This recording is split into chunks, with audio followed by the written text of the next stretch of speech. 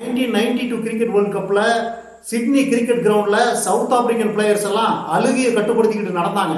ஸ்டேடியத்தில் இருந்த south African fans எல்லாம் கதறி அழுதாங்க.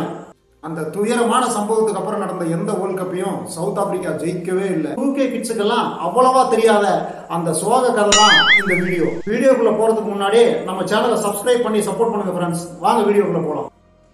நிறவரி பிரச்சனையால இருபத்தி ரெண்டு வருஷம் பேன் பண்ணப்பட்டிருந்த சவுத் ஆப்பிரிக்கா உள்ள வந்து விளையாண்ட முதல் உலக கோப்பை தான் nineteen ninety two world cup இது ஆஸ்திரேலியா நியூசிலாந்துல நடந்துச்சு. இந்தியாவெல்லாம் வழக்கம் போல முதல் ரவுண்ட்லயே வெளியே வந்துற England Pakistan South Africa and New Zealand Zealand நாலு டீம் தான் செமிஃபைனலுக்கு குவாலிஃபை ஆச்சு. முதல் செமிஃபைனல்ல பாகிஸ்தான் நியூசிலாண்டை பீட் பண்ணி ஃபைனலுக்கு குவாலிஃபை ஆயிடுச்சு. Second semifinal England South Africa. இருபத்தி ரெண்டு மார்ச் ஆயிரத்தி தொள்ளாயிரத்தி தொண்ணூத்தி ரெண்டு சிட்னி கிரிக்கெட் கிரவுண்ட்ல நடக்குது. என்னதான் இருபத்தி ரெண்டு வருஷத்துக்கு அப்புறம் இன்டர்நேஷனல் கிரிக்கெட்டுக்கு சவுத் ஆப்பிரிக்கா வந்திருந்தாலும் Kepler Wessels Hansie Cronje Jonty Rhodes இந்த மாதிரியான நல்ல பிளேயர்களும் இருந்தாங்க.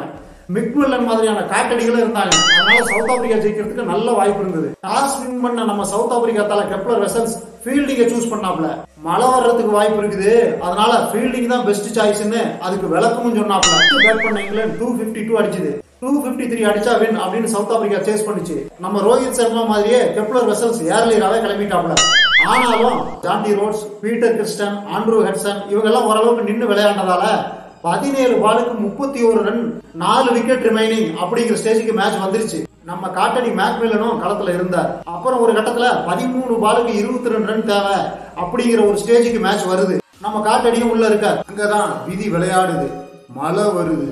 இப்ப எப்படி மழை வந்தா டக்வர்த் லூயிஸ் அப்படின்னு நம்ம எல்லாத்துக்கும் என்னன்னே தெரியாத ஒரு மெத்தேட வச்சிருக்கானுங்களோ அதே மாதிரி அந்த காலத்துல கண்டுபிடிச்சவனுக்கே என்னன்னு தெரியாத ரெயின் ரூல் அப்படின்னு ஒரு மெத்தட வச்சிருந்தானுங்க. அப்புறம் அந்த ரூலை வச்சு சில பல கணக்குகளை போட்டு ஏழு பாலுக்கு இருபத்தி ரெண்டு ரன் எடுக்கணும் அப்படின்னு ஒரு டார்கெட்டை பிக்ஸ் பண்ணானுங்க. இதெல்லாம் ஒரு மேட்டரான நம்ம காட்டடியும் பேட்டை தூக்கிட்டு வந்தாரு. ஆனா இங்கதான் விதி மறுபடியும் விளையாடுது. மறுபடியும் மழை வருது. இதுக்கப்புறம் தான் அந்த வரலாற்று சிறப்பு மிக்க சோகம் நடக்குது. மேட்ச பர்டிகுலர் டைம்ல முடிக்கணும் அப்படின்னு அன்னைக்கு இருந்த பிராட்காஸ்டிங் ரைட்ஸ் ப்ராப்ளம் அப்புறம் இந்த இத்து போன இத்து போன ரெயின் ரூல் இது ரெண்டையும் வச்சு சில பல கணக்குகளை மறுபடியும் போட்டு ஒரு பாலுக்கு இருபத்தி ரெண்டு ரன் எடுக்கணும் அப்படின்னு டார்கெட் பிக்ஸ் பண்றாங்க. பாசிபிளே இல்லாத இந்த டார்கெட்டை பார்த்து எதிரணி கேப்டனே டென்ஷன் ஆன கதையெல்லாம் நடந்தது. அதுக்காக ஆட முடியாதுன்னு சொல்ல முடியுமா?